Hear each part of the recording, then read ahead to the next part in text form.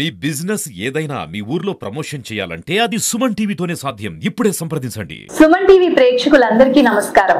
క్రోధినామ సంవత్సరం ఉగాది సందర్భంగా ఈ రోజు మన స్టూడియోలో మనతో పాటు ఉన్నారు శ్రీ తెన్నేటి శ్రీనివాస్ శర్మ గారు. వీరు సింహాచలం మరి శ్రీ అరసవెల్లి శ్రీ కూర్మం శ్రీ కనకమహాలక్ష్మి అమ్మవారి టెంపుల్స్లో వీరు ఆస్థాన పంచాంగకర్తగా వ్యవహరిస్తున్నారు. అంతేకాకుండా విశాఖ శారదా పీఠ పీఠానికి సంబంధించి కూడా వీరు ఆస్థాన పంచాంగకర్తగా వీరు వ్యవహరిస్తున్నారు. మరియు టైమ్స్ ఆఫ్ ఇండియా అలాగే హిందూ ధర్మ పరిషత్లో కూడా ఆస్థాన పంచాంగకర్తగా వీరు ఉన్నారు. అంతేకాకుండా వీరు జ్యోతిషరత్న అనే బిరుదాంకితులు కూడా.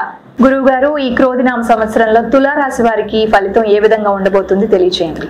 తులారాశి చిత్తా నక్షత్రం మూడు నాలుగు పాదాలు స్వాతి నక్షత్రం విశాఖ ఒకటి రెండు మూడు పాదాల వెరసి ఇది తులారాశికి చెందుతుంది.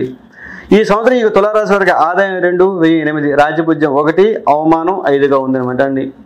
ఈ రాశి వారికి గ్రహగతులన్నీ కూడా పరిశీలించడం చేసినట్లయితే పంచమ స్థానంలో శని సంచారం షష్ఠ స్థానంలో రాహు సంచారం రెండు వేల ఇరవై నాలుగు మే ఒకటి నుంచి కూడా గురుడు కూడా అష్టమ స్థానంలో సంచరిస్తాడు కాబట్టి కడు జాగ్రత్తగా వ్యవహరించడం అవసరం ఈ తులారాశి వాళ్ళకు ఉంటుంది.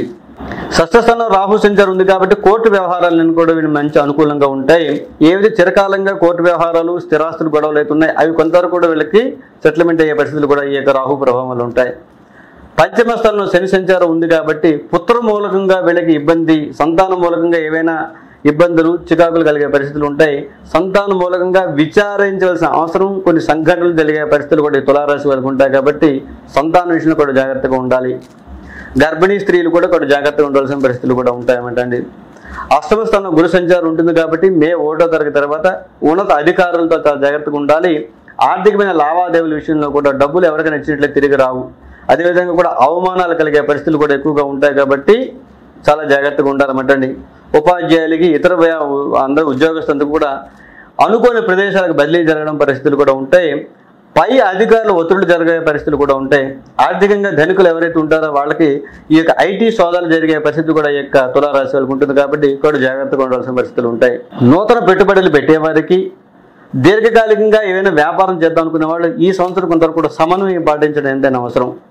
అవివాహితుల వివాహ యోగ్యత సంతానం లేని వాళ్ళకి సంతానం యోగ్యతలు కూడా కలిగే పరిస్థితులు కూడా ఉంటాయి. కానీ ఏ విషయమైనా సరే కూడా చాలా ఆచి తూచి అడుగు వేసిన పరిస్థితి ఈ యొక్క తులారాశి వారికి ఉంటుంది. ఈ రాశి వారికి అదృష్ట సంఖ్య ఆరండి బుధ శుక్ర శనివారాలతో కూడిన ఐదు ఏడు తొమ్మిది తేదీలు వీళ్ళకి మంచి అనుకూలంగా ఉంటాయి. నిత్యం అష్టమ స్థానం గురు సంచారం ఉన్నది కాబట్టి గురు శాంతి గ్రహ గురుగ్రహం యొక్క శాంతికే నిత్యం కూడా గురు దత్తాత్రేయ స్తోత్ర పారాయణ చేయడం ద్వారా కానీ ప్రతి గురువారం నాడు గురువుడికి సంబంధించి శనగలు దానం చేయడం ద్వారా తెల్లని ఒక పసుపు రంగు వస్త్రంలో ఈ యొక్క దానం చేయడం ద్వారా పసుపు అరటిపళ్ళు గోవులకు పెట్టడం ద్వారా ఆకు గురుగ్రహ శాంతి కలిగే పరిస్థితులు కూడా ఉంటాయి. పంచమ స్థానం శని ఉంది కాబట్టి శనికి కూడా తైలాభిషేకం చేయడం ద్వారా కూడా ప్రతి మాస శివరాత్రికి ఆ అభిషేకం చేయడం ద్వారా కూడా శాంతి కలిగే పరిస్థితులు కూడా ఉంటాయి ఈ యొక్క తులారాశి వారికి.